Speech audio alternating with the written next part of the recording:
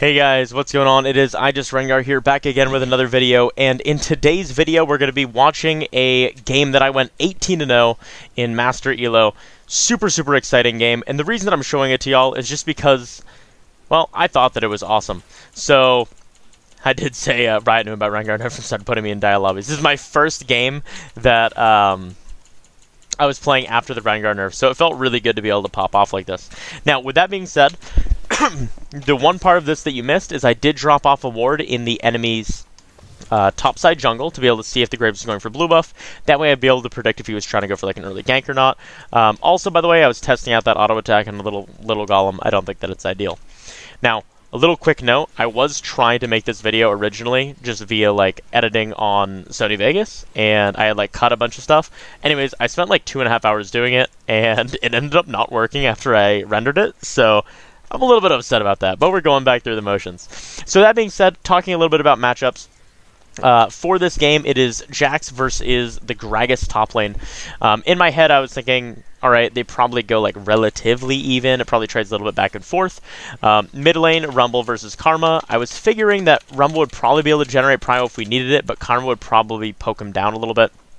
Oh, with that being said, I did kind of tell my bot lane that the Graves is going to go bot lane, and uh, ping for them to ward and uh, they didn't really do anything. So that kind of sucks. But with that being said, uh, the bot lane is Zeri Milio versus TF and Thresh. Now, TF and Thresh is a little bit of a weird... You can see my uh, my sigh where I was upset.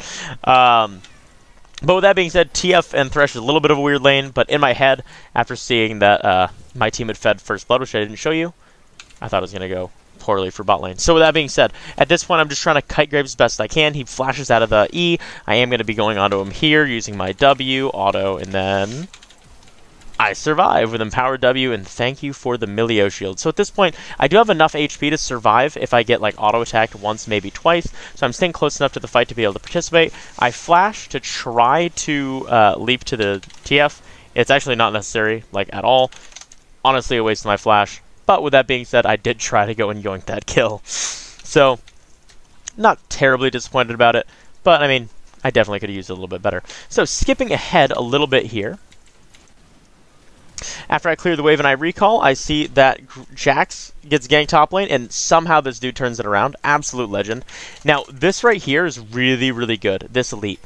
Um, it's very difficult to do, so I'd recommend practicing it in the practice tool. But if you E, walk over, and then leap, you can actually make this leap. And by the way, the reason I'm not going, not going top lane is because I know that the uh, Graves is level 4, so or level 3 actually, he might have been. Um, and the Rumble is level 5 at full HP. So I know there's really not a lot of risk to me just going for this instead of going top lane right away. So I start taking these, and I'm able to secure the Rift, Rift bugs, and then run over towards this. Karma tried to leave to her, was not able to, but luckily with this slow, I am able to leave to her, and I really love rooting just because it allows me and my teammate to get damage down. I always try to empower to E if there's a teammate nearby. Now, with that being said, Graves is a super fun champion with interactive abilities. So, by that I mean Graves is really annoying to play against. So at this point, I just go right back to clearing my jungle. I got a little, little bit of gold, so it would potentially be worth exploring a back here, but I think that it's best to just kind of full clear my jungle, considering that everything's going to be up by the time that I get down towards my bot side. So we'll hop ahead a little bit here, and as you can see, I tell my bot lane to play aggressive because earlier, if you remember, the Graves was top lane at the same time that I was top lane, which means he has things up there that he wants to get, and he's also on the same clearing path where he's going to be clearing down towards bottom. So I know that I can tell my bot lane to play a little bit more aggressive because the Graves will be there and I will be there, but I will have a level lead. Now, I intentionally don't show here, and the reason why is because I really like to be able to ambush the enemies whenever possible. So they don't know that I'm in this area. They're not exactly sure where I am. They don't know if I recalled earlier so I could be slower in my clear. But this is a phenomenal situation because I am in a position where I can go in, and you'll see me utilize that now. Now, I have 4 Ferocity, so I use my Empowered Q before leaping, leap onto the Karma, and I Empowered E, that way I prevent her from flashing. She still flashes, and she ends up burning to death by the Rumble, so that works out super, super well for my team. Now, the next thing, and you're going to see this one more time a little bit later in this game, is sometimes you have to know when it's time to just leave an objective. So at this point, I can see that my Zeri could potentially die here. So I ulti, I run out, Not able to get the Twisted Fate, however, we do secure a kill for it, and then you can go right back to the objective. There's so many players that I see in low elo, and even in high elo. Like, to be totally honest, I've definitely made this mistake, where they will be so locked into their idea of I need to go kill this objective or I need to go kill this camp that they won't rotate in time to save their their laner. Now, what you need to think about is if you just leave like a second, second and a half faster, you cover 400 units worth of distance in that second. Do you know how much flash moves you? About 400 units. So what that, or maybe like 450. I think it's 400 though. But with that being said, that essentially means that if you just leave like a second or so faster, you are able to. Um, oh, and look at this. I'm running over, getting my velocity. But if you leave a second or two faster, you're actually able to essentially have a free flash's worth of distance, which might not matter in certain situations. Like if you're just going to be going for a gank that's not on a timer or anything like that, it doesn't really matter because they would see you at the same time anyways. But if they're actively engaging your team, it does matter the faster that you get there. So at this point, I know that I have four ferocity, so I can't get like empowered Q or I can't get queued by Thresh and like die. So that's why I'm playing so aggro there. Then I throw my E to cover my escape. Now, at this point, I know that they see the Zeri, or at least have some idea that she might be near, might be nearby. And that preempts me to try to go in here. Now, I'm not going to lie, that little melee minion doing what it did kind of kind of messed me up. But what you want to do with Rengar before you try to preempt a dive is try to secure as much ferocity as possible. Now, I did that by queuing the minion. At this point, I hadn't been looking at the minimap, so I wasn't 100% sure where Graves was. So what I want you to do is watch my movement not knowing where Graves is. As soon as I kill him, and then trade onto the Thresh, I flash over, and then I immediately run down, I stay kind of close to the wall, and I'm kiting while I'm auto-attacking, just to get a little bit extra damage. It only delays me like a half a second um, to kite my autos there. But then I see Graves is topside. So I'm not really as stressed, and I'm able to recall here. I do ping that Graves is going to come. He does come, and he kills him. So that being said, I run over this way because in my head I'm like, all right, what is Graves likely to do? Probably going to be wanting to take the uh, Scuttlebugs and that is what he's doing, or Void Grubs. Now, he flashes, Jax flashes, not able to kill him until this insane leap comes out. And honestly, it kind of shocked me that that was possible. Um, from here, I see the TF coming over the wall, and I'm able to leap to him and take him out as well. So, working out super, super, super well for me and for the team. By the way, if you hear my breathing, um, like in the background while I'm talking, it's because I wanted you to still get the audio of the video, so you can hear like the Rengar Qs, Ws, etc., and all the other uh, all the other noises. With that being said, I'm gonna play some background music because I just realized that there was none playing this entire time. A little bit of a mistake. So with that being said, I'll skip forward just slightly. You can see that over here, um, the Gragas is in a position to be dove. All I'm doing in the meantime is just maintaining my ferocity. Notice how I'm not using anything else. I have my hubris stacked up right now and I have 4 ferocity, so I know it's a winning trade for me to go in. And we are able to kill him. I use my W because 490 damage from a turret is criminal. And then I start going on this turret. Now, because of that ward that we have in their topside jungle, I know, or the two wards, I know if Graves is coming up, and I do see him. But given the distance that he is away, and given that he's still on the wolf camp, I know that I can get at least one more plate before it's time to back off. A little bit later on, Graves does come up through here, uh, trying to find us, but we back just in time. Now, I'm doing what I always want to do, and I'm trying to farm, or I'm trying to farm uh, efficiently. We see Graves right there. I start going like I'm going to head up, and then I'm thinking, okay, I want to get 4 Ferocity real quick. I ulti, and I sprint directly to him, and I'm just able to save him. Now, the reason that I stopped to get that 4 Ferocity is because I know that if Jax dies, I can only win a 2v1 if um, I have 4 Ferocity. So I'm putting myself in a position to potentially win. Now, this play, I'm not going to lie, I'm, I'm pretty proud of this. Is pretty, this is pretty nuts. So you can see right here, obviously I'm a little bit close to death, and I am able to clutch that out and kill her really proud of that for whatever reason. I just I don't know. That's pretty crazy. So at this point, I come over here. I'll actually just leave this playing because, well, you'll see in a second. But I come over here. I'm taking my wolves. I'm trying to just kind of like heal up a little bit as I'm going because I, I mean, I have a good amount of gold, but not so much where like I feel like I need to back. And then I see, as I'm gathering my ferocity up, that the enemy is trying to ult away. So I flash and leap. If Rengar leaps, his leap will go through, like in terms of damage, unless it's canceled by something. So, as an example of something it could be canceled by, uh, like the Gragas E, um, a Thresh E, which is like the Flay and the Body Slam, respectively. And then here I like kind of run down to the right slightly before I leap to get the uh, extra fruit without having to run over it. So at this point, taking down this uh, dragon, and then from here I have a ridiculous amount of gold. so I do what any sane person does, and I finish clearing my jungle before I go and recall. Now at this point, not... Oh, actually, I forgot that this happened. So I, I do take these, and then I see that there might be a play because Rumble's playing a little bit aggressive. I build up a little bit of ferocity. I come over here, and this I'm not sure where their TF is. As soon as I see him, I know this is a mistake, and I run back. I feel really bad for Rumble, but it is what it is. So at this point, I get revealed, so I start running back. I don't really want to just stop right there, so I end up just deciding to full clear the rest of my jungle. And then from here, I'm able to recall I look at their items and always do that. I look at their items and I determine, okay, they're not building armor, so what does that allow me to do? And what it allows me to do is it allows me to go and build Edge of Night, which is going to give me actually a lot of offensive stats. If they were building armor, and what I mean by offensive stats is uh, offensive ability. Because previously I'm in a situation where I can't leap in if like Thresh and TF are together, because I would be worried that the when I use my ulti here and I have to pivot,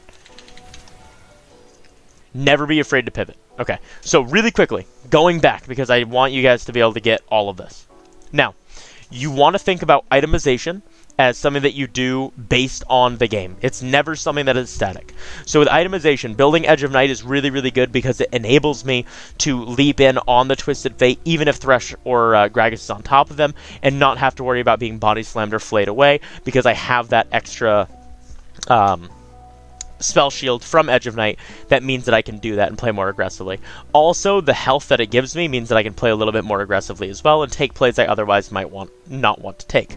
With that being said, if the enemy uh, wasn't as behind as they are, if they had relatively even levels and they built, let's say, like let's say TF for whatever reason, I've seen AD carries do this, built a Warden's Mail, which gives them 40 armor and like extra resistance to damage. I would honestly be forced into building a Serylda's Grudge if like the Karma was also building a little bit of armor as well, because that puts me in a situation where I need to be able to shred that armor to be able to one shot. So at that point, I would think, okay, I need to just wait for their uh, protection to leave them, and then I try to one shot them. That also would enable me to do more damage to the Thresh and to the Graves, who gets uh, armor innately. So it's one of those things that you really need to think of. Now, the next thing that's coming up right here that I want you to see is pivoting. So I ulti right here, when I see the Graves, I know that that's not going to work because I see Thresh, so I immediately run over to the Twisted Fate, and he flashes. So overall, I mean, yeah, he flashes away. However, I got his flash for like a 60 second cooldown of my ulti. And thank God that they didn't keep going in there because I uh, W'd a little bit late. But with that being said, I essentially used a uh, 60 second cooldown for what was a five minute cooldown, unless he has like uh, cosmic drive or not cosmic, cosmic insight, I think. Um, in which case, I didn't even use it for uh, for five minutes. I used it for like a four minute cooldown, so I got like four times my value in terms of time. Now here I'm just kiting in and out of the bush because I know I have extra movement speed from Gustwalker Hatchling. And then I go and I take this control ward. Now, looking at Jax's bot lane, he has a lot of pressure and my team's ahead. So I start taking this uh, Rift Herald, with that being said, we immediately see Graves show bot lane and we see TF ulti. So I'm thinking, alright, I need to take this as soon as possible. Knowing that there's three bot lane, I know I can play a little bit more aggressive. So I enter into the enemy jungle and I immediately run to take down this tower. Because in my head, I'm thinking, all I want to do is snowball as quickly as possible. Now, seeing Karma here, she wastes her Q. So I ulti, I run in, and I'm able to kill her super, super quickly. And then run back to follow up on the Rift Herald getting not only the gold for the kill, but also the gold for taking down this turret. Split with Rumble, sadly. Now, the cool thing is this uh, Rift Herald ends up getting another charge off. So, With that part having happened, I just essentially clear this, then run up and go to clear my Krugs. From here, I'm able to finish that Edge of Night, and I think actually, uh, yeah, finish that Edge of Night, which is super, super big. And then from here, I'm just thinking, all right, what do I do next? My favorite thing to do in League of Legends is to go when you're ahead, go and get four ferocity, stack it up, and then see where the enemy is. So I can see that Karma's right there. There's no turret nearby. The very first thought on my mind is, honestly, ulti, go kill her, keep my hubris stacked up. Then I see this, and I'm like, alright, get my 4 Ferocity again, because unless she's recalling, she's still going to be there. So I run down along here. I know that Graves can't near, be nearby, because we saw him earlier. Because there's a bush, I use Empowered E, because I know I'll be able to get a 4, uh, another 4 stack again uh, from the from the bush. And I'm able to kill her super quickly. So with that being said, really, really easy to play Rengar when you get ahead if the enemy team is split around and they're like kind of playing more spread out. When Karma showed in that uh, top side of the map, I immediately knew that it was over for her. Now here, I'm trying to go into their jungle and support the Jax by being on the opposite side uh, of him, and then I just end up being all on this side. So they kind of give him up, and I'm able to kill Twisted Fate for it because their entire team, for whatever reason, does some sort of loop-de-loo and totally misses both Jax and myself. So at this point, I'm able to get a really, really nice leap off and then rotate over to help the Jax. Now, it looks like it's a little too, bit too late for the Jax. However, I am still able to go and take out the Gragas. And then from here, I thought I might get hooked, by the way. That's why I ran back.